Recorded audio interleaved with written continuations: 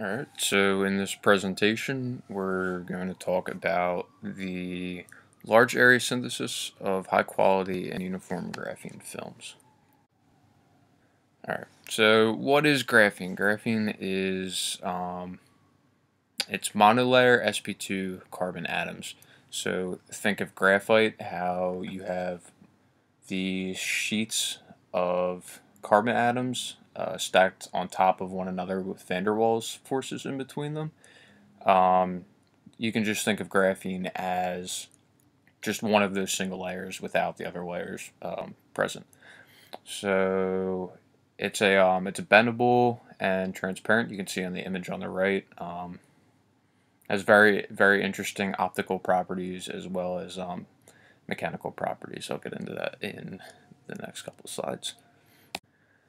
So, what's the hype um, surrounding graphene? Why is it why is it so interesting? Why are scientists, researchers, um, engineers, why are they all losing their minds about this molecule?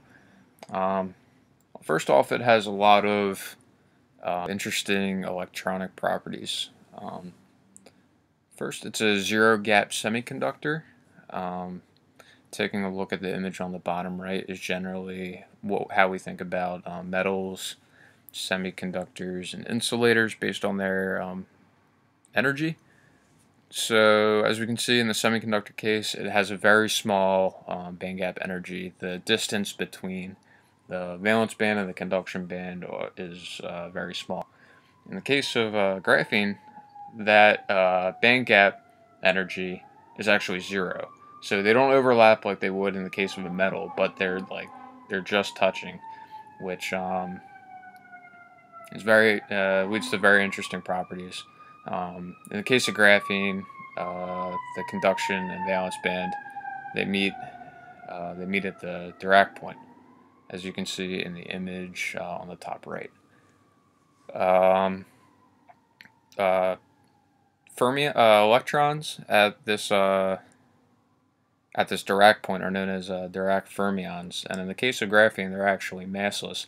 They have no mass, which uh, this is why this is the main reason why graphene has uh, such interesting electronic uh, applications.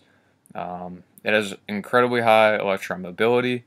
Um, the electron mobility for graphene is actually uh, 10 million times greater than that of copper. So you can think of electrons traveling through a metal like copper uh, incredibly quick. It's about 10 million times faster in uh, graphene, so that's, crazy. That's unbelievable. Um, another um, property of graphene that uh, scientists are kind of freaking out about is its uh, strength.